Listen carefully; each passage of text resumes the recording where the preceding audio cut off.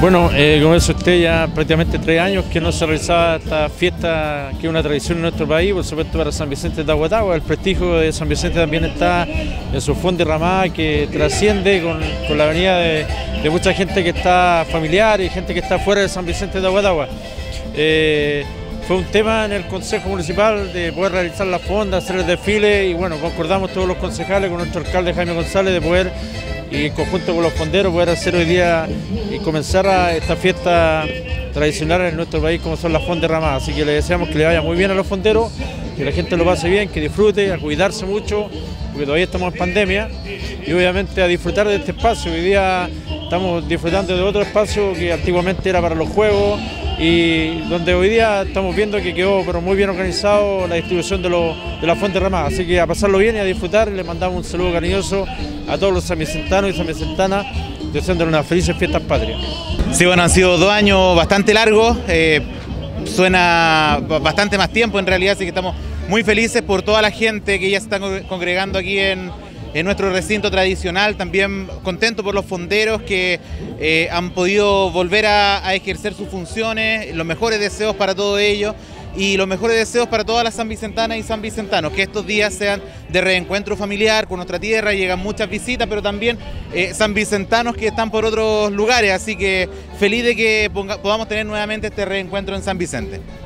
Bueno, aquí inaugurando recién las fondas y ramadas después de dos años, la gente con harto entusiasmo, en un lugar seguro acá en, eh, detrás del parque, en donde se le promete a la gente harta seguridad, así es que estamos contentos de, este, esta gran eh, inauguración hoy acá, eh, decirle a la gente que, que asista, que nos veamos, que nos demos un abrazo de unidad y que festejemos nuestras tradiciones. Bueno, eh, feliz, solamente manifestar felicidad, alegría por los sanvicentanos y sanvicentanas, después de años muy difíciles, ¿cierto?, de, estar afectados por esta pandemia, ¿cierto?, que nos cambió nuestra forma de compartir. Hoy día estamos felices, ¿cierto?, disfrutando de esta inauguración de la Fonda Ramada 2022,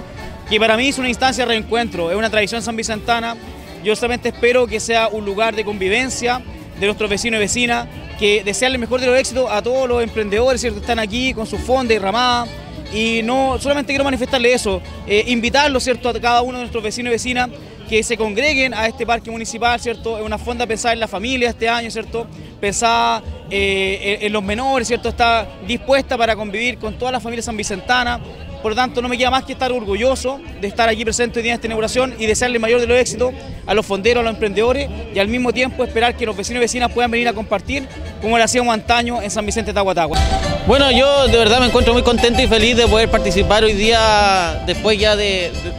dos años de, no tener actividades, de ser parte de una inauguración de, la Fonda Ramada de nuestra comuna. Sin duda alguna, no ha sido una decisión fácil, lo hemos visto inclusive en los consejos municipales, pero se tomó esta decisión eh, en apoyo a nuestros vecinos y vecinas, así que quiero destacar también ahí el compromiso que acaba de destacar nuestro alcalde con nuestros vecinos. Así que sin duda alguna enviarle un mensaje a nuestros vecinos y vecinas, estamos en pandemia, tenemos que cuidarnos. Eh, también hoy día el tema de la conducción con alcohol también tiene que ir por parte de nosotros, hacer el clic, cambiar, para que no tengamos que lamentar ninguna pérdida. Al fin y al cabo, nuestro San Vicente, nuestra región no,